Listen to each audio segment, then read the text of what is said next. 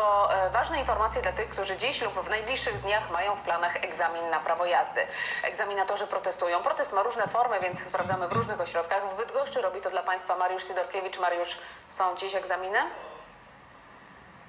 Aniu, tylko w tym jednym ośrodku w Bydgoszczy na dziś planowano przeprowadzenie 100 egzaminów i niemal wszystkie zostały odwołane. Do godziny 15 nie odbędzie się ani jeden, ani w części teoretycznej, ani w praktycznej, a po 15 odbędzie się ich zaledwie kilka. Wszystko dlatego, że niemal wszyscy spośród 20 bydgoskich egzaminatorów e, położyli na biurko dyrektora albo L4, albo wniosek o urlop na żądanie. E, Posłuchajmy, co mówi dyrektor WORD-u w Bydgoszczy.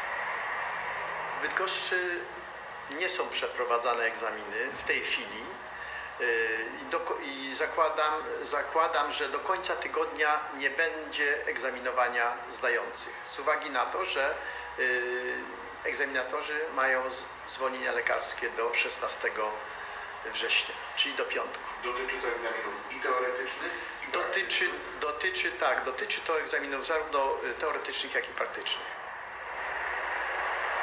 Bydgoszcz nie jest wyjątkiem. Jak informują nas przedstawiciele środowiska egzaminatorów, podobne protesty odbywają się mniej więcej w 30 ośrodkach w całym kraju. Mówię mniej więcej, dlatego że sytuacja jest e, dynamiczna. To są bardzo często oddolne, spontaniczne protesty. Podobnie jak w Bydgoszczy, tak w tych kilkudziesięciu ośrodkach egzaminatorzy biorą albo zwolnienia lekarskie, albo urlopy na żądanie, a to problem dla tysięcy osób, które dziś w skali całego kraju do egzaminów miały przystąpić. Egzaminatorzy domagają się podwyżki, ale jak mówią przedstawiciele, którzy ich reprezentują, nie tylko o pieniądze chodzi. Chodzi o daleko idące zmiany w organizacji egzaminów, e, tak aby od kandydatów na kierowców nie wymagać rzeczy, które dziś są niepotrzebne i niepraktyczne, a z drugiej strony, żeby uczyć tak, by nabywali umiejętności, które są przydatne w dzisiejszych warunkach, jakie panują na drogach.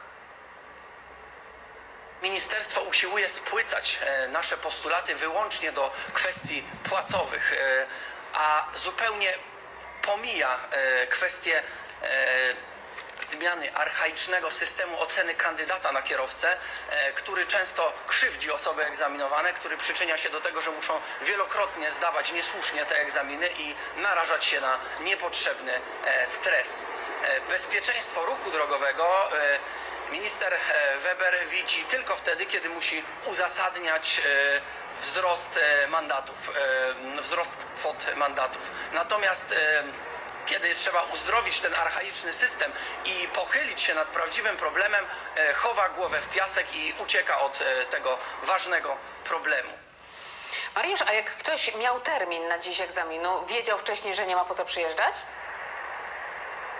W Bydgoszczy przekonują, że telefonicznie informowali wszystkich kandydatów na kierowców, że dziś egzaminy nie dojdą do skutku. Dodatkowo też stosowne komunikaty znalazły się na stronie internetowej Bydgoskiego Wojewódzkiego Ośrodka Ruchu Drogowego. Moje obserwacje wskazują na to, że podobnie jest we wszystkich ośrodkach w całym kraju, no ale myślę, że ważna praktyczna informacja dla tych, którzy dziś i w tym tygodniu planują przystąpić do egzaminu, aby kontaktowali się z ośrodkami, bądź co najmniej sprawdzali na stronach internetowych, czy rzeczywiście ich egzaminy dojdą do skutku.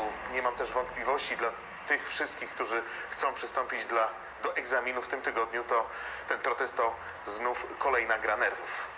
I pewnie dla nich też kluczowe pytanie, jak długo ta sytuacja może potrwać? Wiadomo coś na ten temat? Mamy tylko takie bardzo ogólne informacje, bo znów protest jest oddolny i w dużym stopniu spontaniczny, ale wszystko wskazuje na to, że ta fala, która przechodzi przez ośrodki ruchu drogowego w kraju, sparaliżuje egzaminy co najmniej do końca tygodnia. Tak na pewno będzie w Bydgoszczy i w wielu dużych ośrodkach w kraju, bo na te dni egzaminatorzy wzięli zwolnienia lekarskie i urlopy na żądanie. To możemy powiedzieć na pewno. Jak będzie w przyszłym tygodniu, to zagadka, to stoi pod dużym znakiem zapytania. E, Biorąc pod uwagę to, co działo się dawniej, bo to już trzecia fala protestów, czyli co działo się w lipcu i w sierpniu, to te protesty wygasają po kilku dniach, ale musimy też pamiętać, że mm, coraz bardziej egzaminatorzy są sfrustrowani, te emocje są coraz większe i te protesty mogą przybierać coraz większe rozmiary. Mariusz Sidorkiewicz, bardzo Ci Mariuszu dziękuję.